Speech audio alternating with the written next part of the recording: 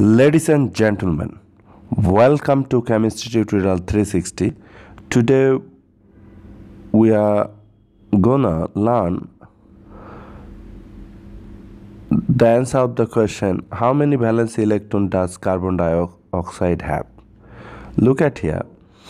The valency electron of carbon dioxide will be the sum of the valence electron of carbon and oxygen carbon is an element of group 4a or 14 so for 4a if you deduct a then you are getting 4 for 14 if you deduct 1 then you are getting 4 that is the valence electron for carbon is 4 on the other hand oxygen is an element of group 6a or 16 so if you deduct a then you are getting 6 or if you deduct uh, 1 then you're getting 6 so oxygen has 6 valence electron.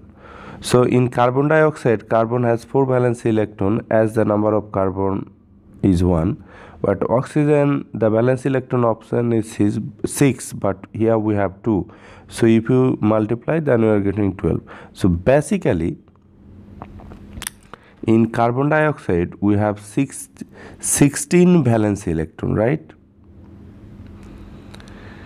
we have another way to find out the uh, valency electron for carbon and oxygen and that is electronic configuration look at here the atomic number of carbon is 6 so if you do the electronic configuration then you will get this look at here. We know that the outermost shell like is the valence shell. And here the outermost shell is the second shell. And in second shell uh, we have 2 plus 2 that is 4 valence electron right? Outermost shell is the valence shell. And the electrons electrons in valence shell are called valence electron so here we have two valence electron. So carbon has four valence electron. And for oxygen we know the atomic number of oxygen is 8 so if I do the electronic configuration then I'll get this. I'll get this.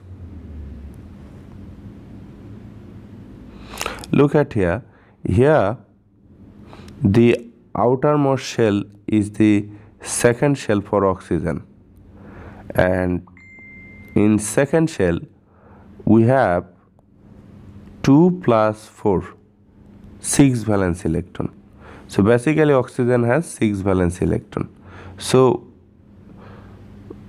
so totally in carbon dioxide we have 16 valence electron. So thank you for viewing this video. Be well